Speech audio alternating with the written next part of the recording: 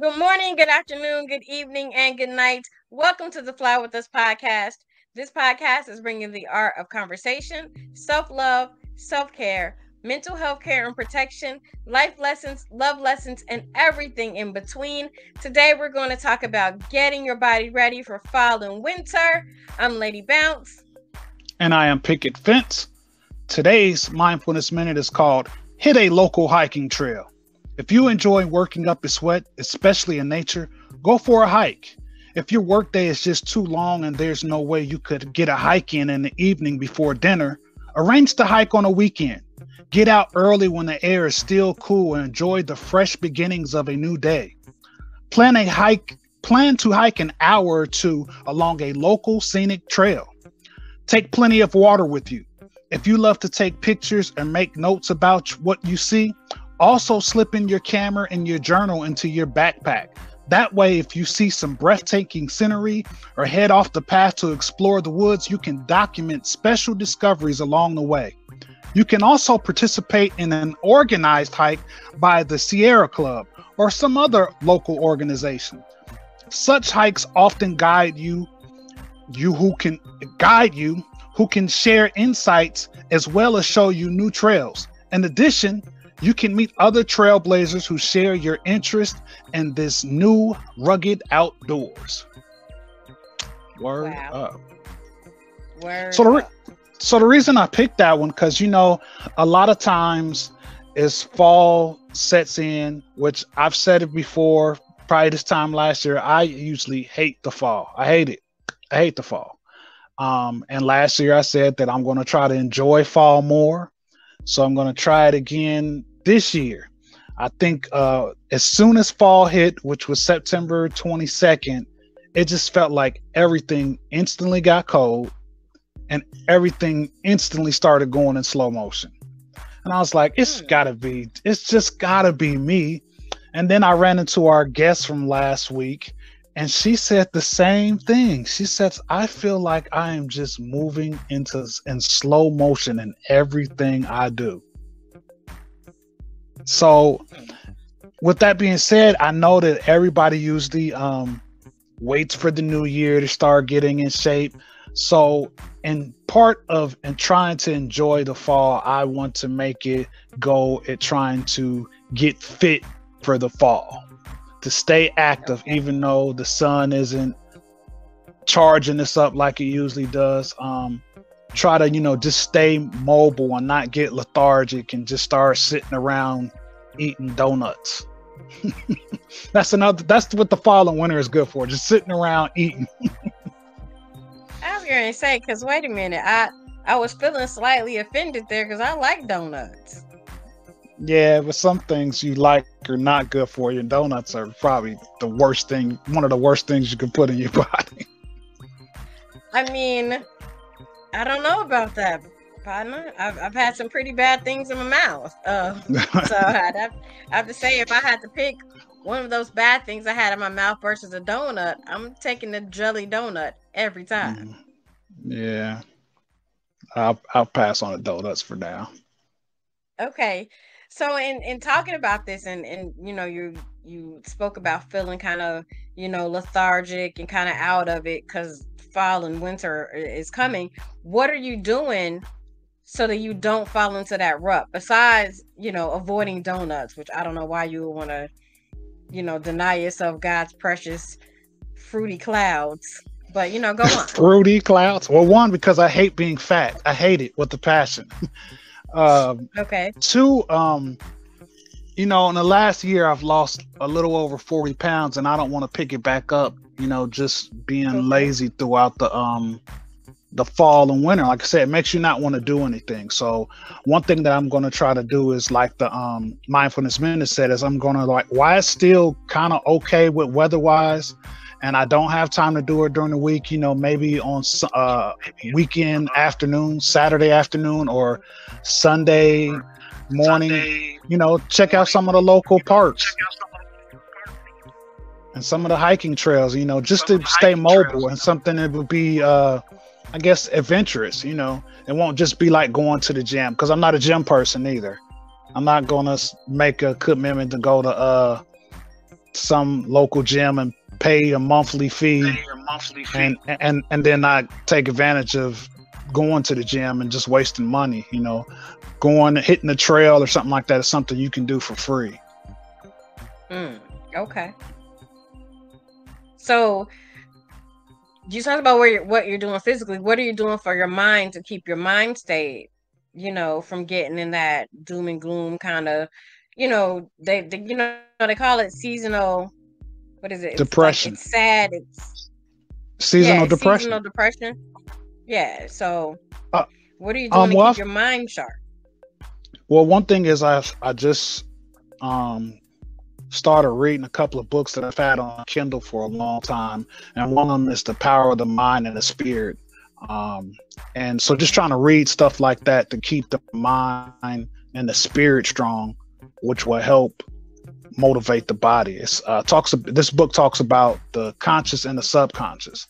Um, the conscious is your everyday um, things that you do uh, as far as what you observe, what you uh, your work, or the thi- things that you eat, or things you watch, and stuff like that. And the conscious feeds the subconscious. The subconscious is what actually controls the organs. You know how they talk about involuntary muscles and things like that, like the the heart and the internal organs, but actually those have a mind and they're used, controlled by the subconscious. So what this book is really trying to get you to do is engage the conscious and subconscious together. Um, it's sort of like a lot of people seen the movie the, the Secret or read the book The Secret. This book is more in-depth version of that and and really talks about how the conscious and subconscious um connect you to spirit and the, the you know and the source that some would call or some may say god Wow. um so reading books like that um ralph You know, waldorf i'll put it in the show notes but i think it's ralph waldorf um because it's on my phone so i can't see what it is but um um but yeah it's called the mind and Ralph spirit Waldo Emerson. Nah, I, I'm not sure. Like I said, I'll put it in the show notes because I got a physical can't just be copy of it. books. Yeah, I'll, I'll make sure they in the show notes for anybody wants to check that. I'm actually going to be ordering a physical copy because I prefer physical books over reading them on my phone. That's why I've been just sitting there on my phone. Um, but yeah, it's you know it's an adult book so far, and it's it's not a, a big book. Um, and it, like I said, it really talks about making that connection between the conscious and the subconscious, and all the way back to the source. Hmm. So just trying to get Okay. books like that. I have a couple other books that I haven't started reading, but that's one thing that I plan on doing, as long with being fit for fall, is programming the mind to be fit. Because if the mind is fit, it is easy for the body to follow. Because if your mind Right. is targeted on being a, in in a wholeness, then your mind will gear the body to like, yo, we need to do this. You know, we need to be conscious of what we're eating. Because not only do you have to do some physical work, but what what you eat is important too. So I'm just trying not to um you know fall into bad food habits like the, the like I said the fall and the winter and I think that's part of um that's probably encoded us as being you know animals we know that usually um the winter is hard you know before we had civilization when we were just out in the open you know you had to pack on those fatty foods to have the fat you know to keep you warm and secure throughout the winter um, but now that we're in, in civilization, you don't have to do that. You can still eat light because you're gonna go into a, a house that has heating if you're fortunate enough to have that. Mm. Okay. You know, and we're wearing, we're that- wearing clothes now. We're wearing clothes now. We're wearing But clothes part now. of that is it, it is that, you know, packing on, you know, you pack on the pounds for the winter because you do kind of go into a, a hibernative, you know, kind of state.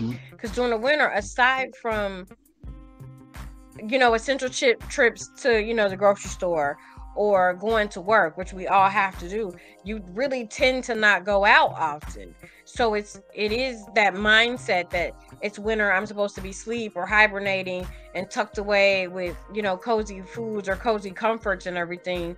So that that is something about um kind of shifting your mindset when it comes to the fall and the winter months to not let that you know, not let that thought come in and like, oh, I got to pack on 100 pounds. Because, you know, in the wintertime too is when we have the two biggest holidays, which are mm-hmm. food related holidays. I mean, the holidays are basically centered around food, Thanksgiving, especially, mm-hmm. is centered around food. And typically it's centered around those comfort foods, that soul food.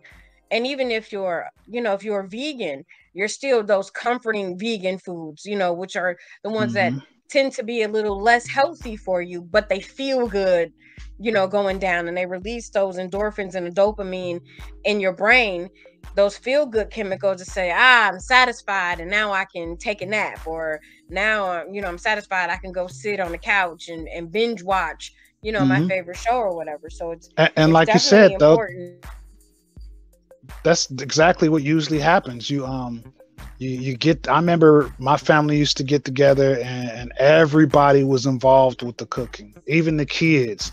We used to make the uh, toast. I'm talking about hundreds of pieces of toast for um the dressing.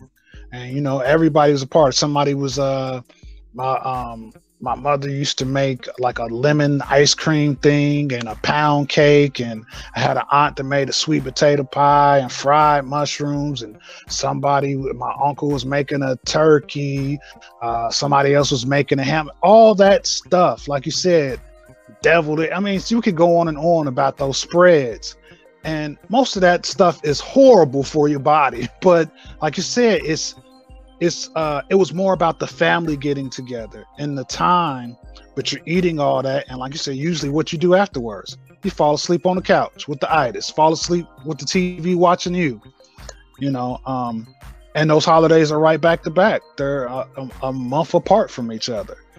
And uh you have back to back binge food binge sessions. And then you know um like i said you know th- that time you don't want to be out and about. Uh, there's no more walking um, amongst festivals and stuff like that.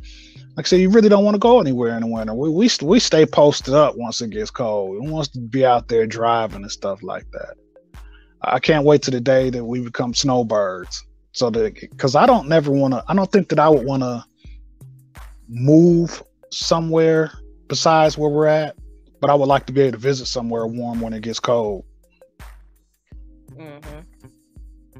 So, and that that was, you know, bringing me to my next point that that it's important during this time to not overindulge. It it is important to make sure that we're having those good feel good foods in moderation, which I know, of course, is always easier said than done. Because if you see five pieces of pie, you're gonna eat two because it's just sitting there and it's asking for it. But maybe you know have one piece and go take a walk. You know, walk around the block four times and then maybe come back and have that second piece. You know, so even though you know you are going to indulge it's not you know not to overindulge and it's sneaking maybe a little exercise here and there don't go right to the couch afterwards the um the number one food for both of these holidays is turkey. And turkey mm-hmm. contains tryptophan. Tryptophan is what tryptophan is what makes you sleepy after you eat that big meal. So it's not just that you ate a big meal. It's that meat specifically has this chemical that induces sleep. That is what it's for.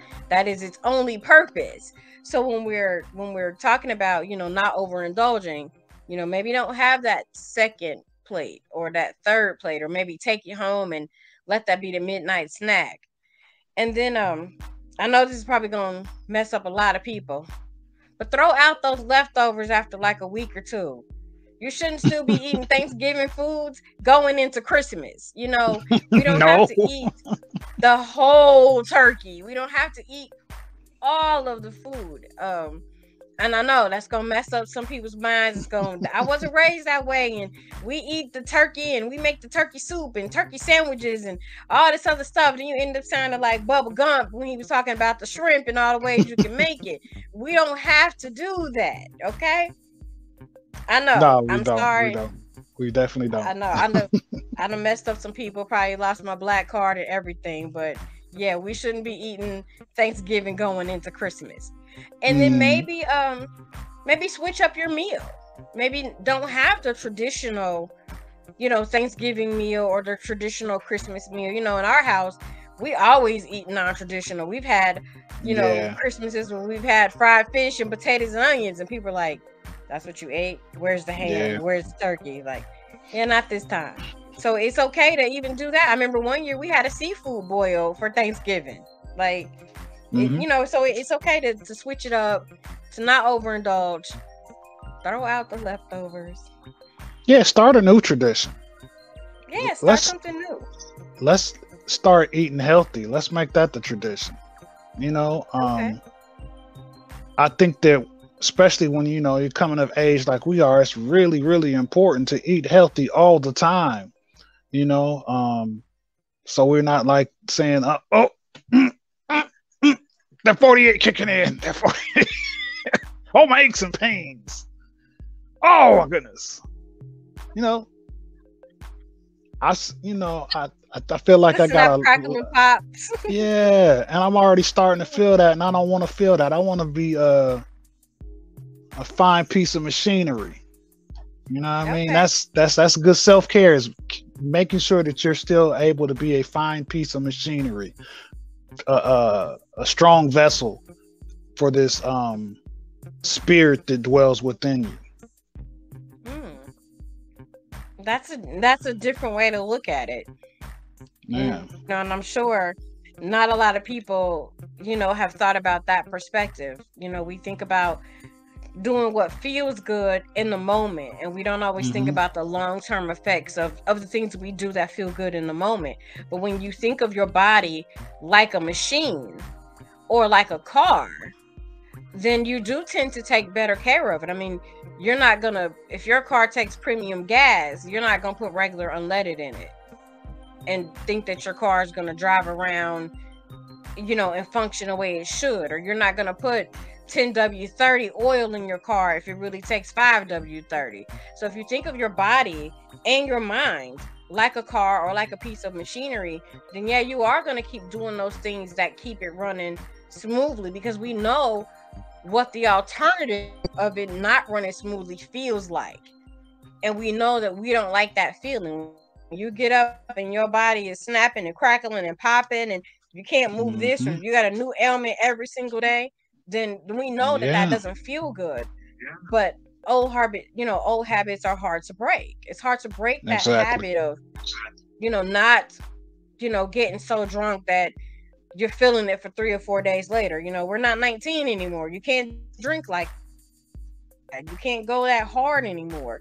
You really have to think about you know keeping your body in in the best shape possible. And that's not to say that you have to be you know super skinny a size two or something like that but you need to be healthy for your height. You need to be healthy for your blood type. You know all of those things. So maybe go to your your doctor and get a wellness have a wellness appointment where they just check all of those things. And then they can even tell Mhm. you you know these are the kinds of foods you should be eating based on your blood type or these are the kinds of things that you should be doing based on your body structure. And can we please put to rest i'm big boned There's no there's such no thing. such thing can Let's we stop stop, saying that when we're fat yeah can we can we stop that let's just Yeah. you're not big let's, boned let's, for God's sake, stop it. on your bones for Yeah, god's sake stop it Yeah. yeah, I Stop know. it. That's probably Yeah. I'm like, I know I'm making I'm making people real mad with this episode, but I hate when people say that. Well, I'm big bone because of my bone structure. I carry more weight. No, that's that's not Nah. true. You carry more weight because Nah. you're not doing anything to combat the weight that you're carrying. Yeah. I mean, and, and, I'm guilty. I'm, a, you know, I'm chunky. Yeah, and and and said, and, I, and let's not act like it's uh, something easy. It's very very hard. it can be very very hard um, and that's yeah. why you have to um, start with the mind reprogramming your, the way you think um, and then mm-hmm. it's you can make those physical decisions after the mind is really geared to it but you have to really really you have to apply pressure to yourself and and, and yeah. sometimes that could be hard nobody wants to be pressurized so right. you know that can be yeah that can be really really difficult but you um, have to weigh that out with what you were just saying earlier about you start feeling those aches and pains in the morning. You're just supposed to got recharged. Right. you wake up in pain. So when you weigh that out, it kind of helps you. Um, that gives should give you a little motivation to start moving towards the um, being able to reprogram your mind. And I think it's we've said on the show a lot of times that it's time that we start reprogramming the mind. And that's another thing with being fit in the fall. Not only do I want to um, keep mental fitness and physical fitness, make those uh, a, a habit and a and a always continuing goal, but I also want to get financially fit. I mean, we we've got a kid in college now that's going to need our financial support. Um, and eventually we will be too old to work. And I want to make sure that we're secure. So this is the last weekend of splurging for me, just splurging. Not, not that's not to say that we won't go out and have a good time, but just like really have to watch them pennies. You know, I'm um I'm be, I'm sneaking a water bottle in the club with me because they be charging too much for them drinks.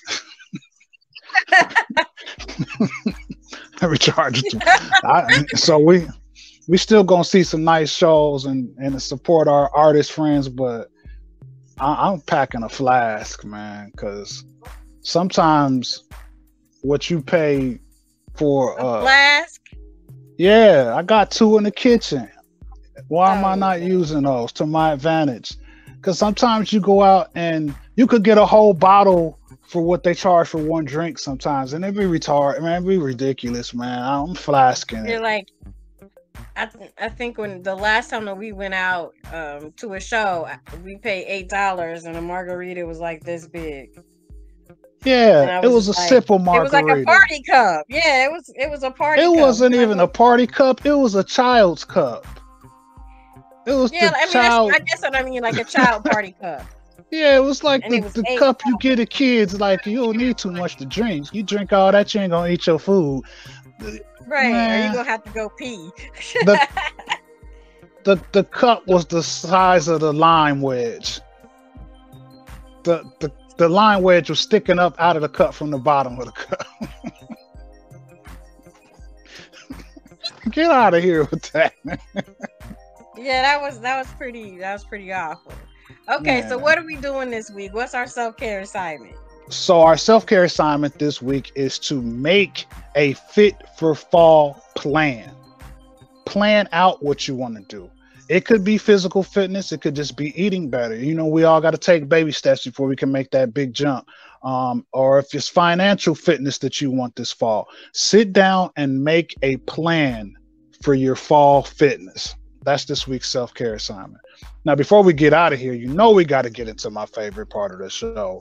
Doom, doom, doom, doom, doom. Brain science, science, science, science. All right, so we've been talking about getting physically and mentally fit for filing for winter. So I'm going to talk to you about how to winter-proof your brain. From diet to exercise, we're going to help you discover simple lifestyle changes that will help you survive a cold winter.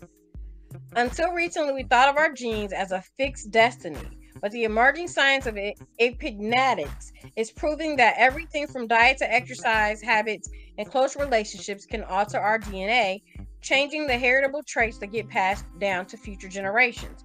And at the same time, these environmental factors are shaping our brains. Wow. So, here are some simple things you can do to winterproof your brain. Resist comfort drinking. no. It's no coincidence that the further north you go, the more drinking becomes a problem. The drawing in of winter has a similar effect. This, which is bad news for our brains. Even moderate drinking, seven drinks a week, which is almost like one drink a day, has been linked with cognitive decline and impaired memory recall over time. The relatively low alcohol consumption in London, for example, compared with the rest of the country, could also be a reflection of the fact that there's plenty to do in their city. So, the more things that you have to do around you, the less you're drinking, according to uh, this most recent study.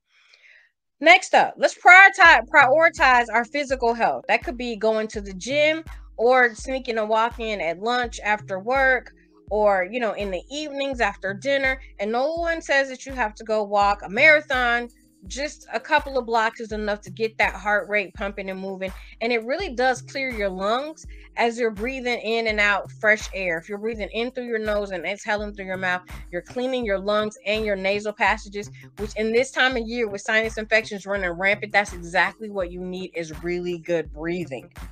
Um, don't carb load watch how much you know bread and potatoes and those white starchy foods that you eat during this time of year. Those are those things that they do feel good. They do release those feel good chemicals in your brain but it also puts those not feeling so good pounds on your hips. So we mm. want to be mindful of you know those refined foods potatoes breads white sugars you know things of that nature right?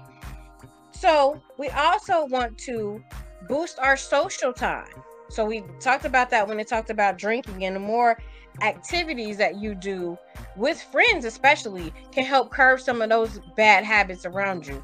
For example, if you're going out, you know, with your friends and you're having a good time, you may not feel the need to drink or you may not feel the urge to overindulge in, in fatty foods because you're so busy laughing and having a good time that those things are just not a part of the prioritized plan when it comes to social gatherings.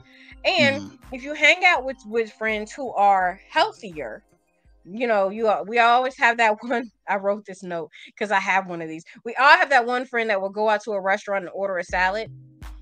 Go out with that friend because that friend is going to order a salad. You're going to look at that salad. You're going to be like, "Oh my god, that's such a good looking salad." I think instead of having a steak, I'm going to have a salad too. So sometimes our friends can influence our healthier habits. So hang out with friends that influence your healthier habits. Now, that's not to say you can't go hang out with your good, good girlfriends or your good time friends, but you want to try to spend more time with those friends of yours that have healthy habits, that have healthy coping mechanisms for the problems that arise in life. So they're not just drinking their life away and having encouraging you to drink your life away, or they're eating all types of bad foods, and then they're encouraging you to eat bad food too, when you know that that's not really, you know, what you want to do, but you do it because of you get that, you know, hanging out with friends. It's not necessarily peer pressure, but it is peer pressure in the sense that if you and your friend are going out, you're gonna do what your friend is doing, or your friend is gonna do what you're doing. So be good influencers of each other when it comes to things like that. Wow. And if you do these things, wait, with this last line, then you too will have a healthier way of coping with the winter blues, and that will stave off that seasonal depression that we were talking about earlier. I love it. That that sounds dope. Sounds real dope. Yeah, the word up is best, especially like word, word up. up. Word up. Okay, so real, real quick, we got like a minute left. What's one thing you're gonna do starting tomorrow to get your body ready for fall? Just one thing. Uh, shout out to the family in New York, TK. I'm gonna have a salad a day. Every day, I'm going to. One of my meals is gonna be a salad. And I got that idea. She usually does that close to like uh her birthday, like March, April. Her birthday is in April, same as mine. Um, shout out to the Tauruses. Um, so yeah, I'm gonna have a salad every day. What a say you? Every day.